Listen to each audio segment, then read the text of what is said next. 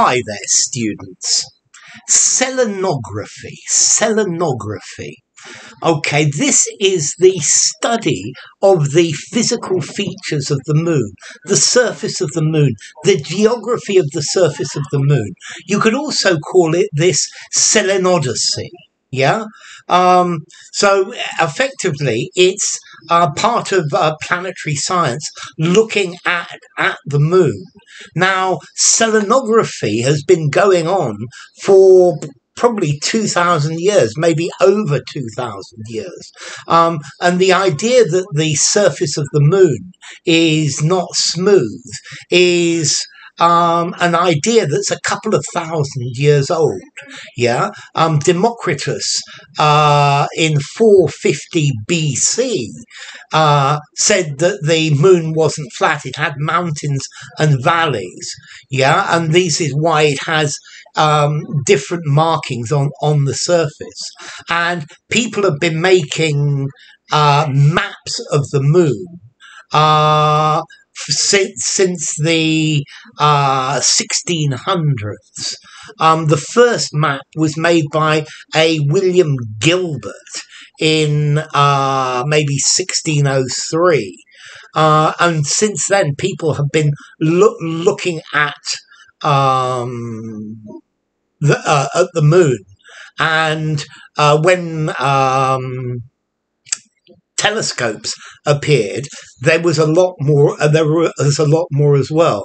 Let's see. We also actually have the word selenology. Selenology is just general lunar science. Okay, selenology, yeah, is the study of the moon, but selenography is geography. It's the graphy, yeah, in as opposed to the ology, the study of. It's the graphy of the distribution of where the where the different places are. Um, and they've been improve, improving their maps of the moon uh, since since the uh, early early seventeenth century. Um, there are still parts of the moon that it's not clear where uh, how deep the craters are and things like that. And uh, I'm sure the uh, particularly in the pot, the north and south poles of the moon. Um, so th- th- there is still a lot of um, selenography to do. Um, yeah let, let's see, people have been drawing maps of the moon. The first map of the moon is from about 3000 BC.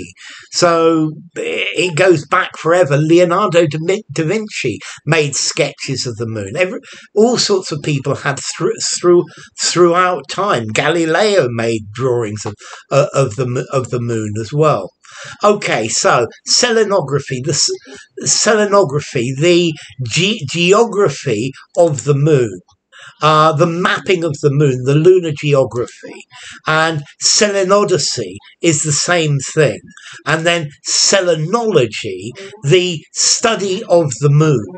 Yeah, selenology, um, um, science of the, of the moon.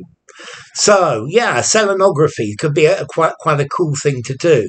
Uh, the the physical geography of the moon. Uh, I'm sure I'm sure if you go to internet, you'll find some very nice uh, selen- selenographic maps uh, produced by NASA or people like this. So, yeah, it, it's selenography. It's the mapping of the surface features of the moon. Yeah, where the mountains and the valleys and, uh, well, there are no rivers, but things that look like river, rivers are.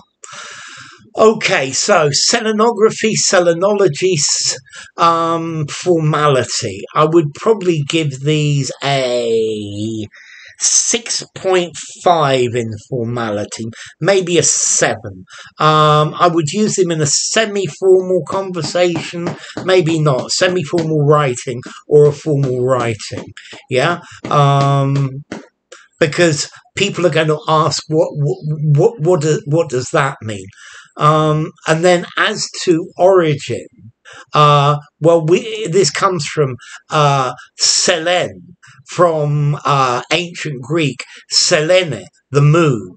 Yeah, and uh, geography, geography, uh, the loca- the location of the uh, different places, the uh, mapping of it, um, graphia, uh, graphe, writing, drawing, description in ancient Greek.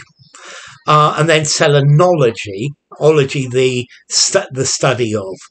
So, enough. If you enjoyed the video, give it a rating, subscribe to my channel, and I will see you soon. Bye for now. Selenography, selenodesy, and selenology.